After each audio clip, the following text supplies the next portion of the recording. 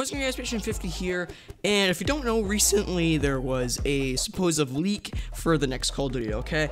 And this is not confirmed or anything, so take this just with, you know, just don't, like, believe it, like, a lot, okay? But since, if it is ends up being real, because in my opinion it looks very real, then I was thinking, well, is there going to be Nazi zombies now? Because if you don't know, the leak basically is saying that the next Call of Duty is going to be in World War II. In fact, it says that the title of the Call of Duty Duty is Call of Duty World War II, okay? So I was thinking, is it going to go back to Nazi zombies? And how would this really, like, would this be awesome or not, okay? So, basically, if you don't know, Nazi zombies was a thing that was around back in World at War in a little bit of Black Ops 1. I'd say it pretty much just Kino, okay?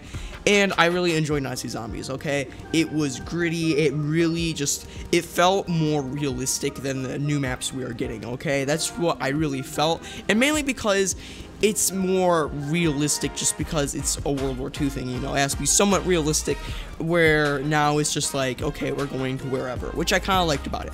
But what I really loved about it was really the grittiness of it, okay? Because World at War was a very fun game, in my opinion. It's probably my favorite Call of Duty, to be totally honest, for multiplayer and zombies.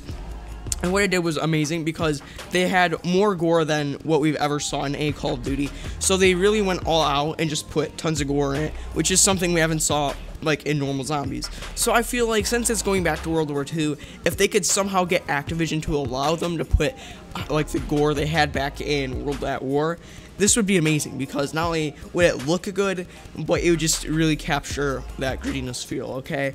And the thing about Nazi zombies is I don't want them to go in the direction that they did with Spaceland and that, okay? Because that's just like a normal zombie thing. Like, I don't really care what they do. But if they do a Nazi zombies, I want to feel realistic. I want to feel the grittiness of it, okay? That's why I really enjoy Gorod Krovi, because it felt like a World at War map. It really did, in my opinion, even though it was, it wasn't as basic as a World at War map. It just kind of felt like that, okay? And from my, like, in my opinion, how a map feels really affects the overall how you think about it, okay? If a map feels horrible, you're not going to like it. If a map feels amazing, it feels gritty, you're probably going to like it, even if the gameplay mechanics aren't really the greatest. You're probably still going to like it, okay? And if they do do Nazi zombies, I really just think that it's they really need to capture the grittiness, okay?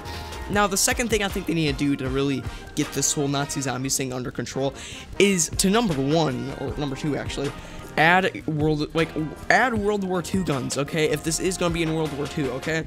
We don't want to have like these futuristic weapons and stuff like that in the box, okay? And this is something I don't really like about the Black Ops 1 versions of the World at War maps. It, it just doesn't feel the same because we're using guns that were in Vietnam. So it's just like, uh, you know, like that's why I don't really play much of the Black Ops 1 version, even though it is remastered in that like sense where the graphics are better and stuff. But the World at War version, I just feel like really captured the guns great. Like we have the flamethrower, we have the ray gun, we have the PPSH, we have like the trench gun. We have lots of very good guns. And I feel like that's something that um, Sledgehammer will have to do to really make Nazi Zombies a great thing if they end up doing it. Okay. And the third thing I think they should do, and this is probably the most important thing, is is like it's pretty simple, but it's just make good mechanics, okay? It's like if you don't know, back in World at War, the knifing mechanic was absolutely terrible, okay? It, was like basically if you're going to knife in World at War, you're pretty much asking yourself to die. Okay, that's how bad it really was. So I feel like if they can just nail the like the knifing mechanic, which is something I don't feel like any Call of Duty has really done well. Like Black Ops 1 was meh, Black Ops 2 I felt was probably the best, and Black Ops 3 was kind of like a mix of World at War and Black Ops 1. Like it's like eh. So hopefully they can nail that down if they end up doing this. But yeah. It's just some things I think that Sledgehammer will have to do if they are going to do Nazi zombies, which if this leak is true, then they probably will. But yeah, anyways, hope you guys enjoy, and I'll see you next one. Peace.